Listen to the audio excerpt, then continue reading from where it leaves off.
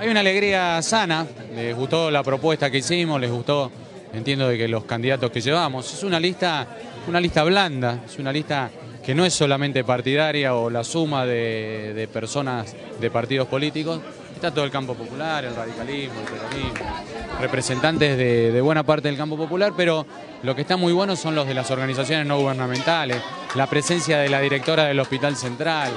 el hecho de Bernardo Landívar que lo, que yo lo, traje acá para quedarse en Boulogne y en,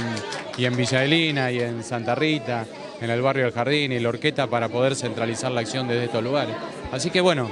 queremos,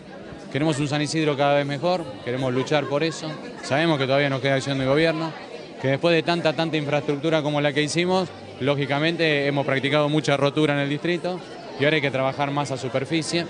Estamos ilusionados con, con superar problemas muy serios como el del cambio climático, las lluvias como se dan y demás, con la construcción de los reservorios, estamos preocupados y ocupados con la cuestión de, del patrullaje, así que bueno,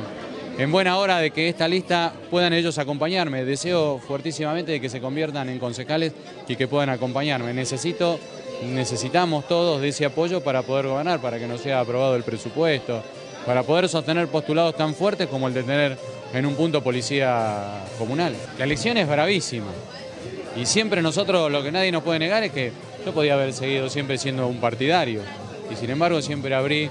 formé la acción vecinal en el momento de más éxito de mi partido político de origen, el radicalismo, y en esa época formé la acción vecinal y la acción vecinal era para poder entrar todos los orígenes políticos. Nosotros formamos el Frente Renovador con Sergio Massa y lo hicimos con todos los orígenes políticos, con Mirta Tundis, con Gianola, con Ignacio de Mendiguren, lo hicimos con todo.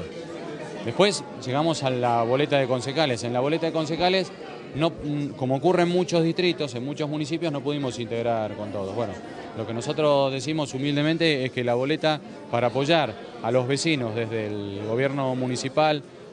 para hacer una mejor calidad de vida para la gente, para poder luchar por todos estos postulados, esta acción de gobierno, que es no solamente decir lo que hicimos bien, hacer, haber hecho las cosas bien no da que nos puedan votar por eso, no nos deberían votar por eso, deben votarnos, porque eso nos da crédito para poder seguir adelante con un plan y poder completar todo lo que todavía no pudimos hacer. Hay muchísimo por hacer, razón por la cual nosotros explicamos, esta es la boleta que va a apoyar el muchísimo por hacer, y es la boleta que empieza con Sergio Massa y que termina con Juan Napose.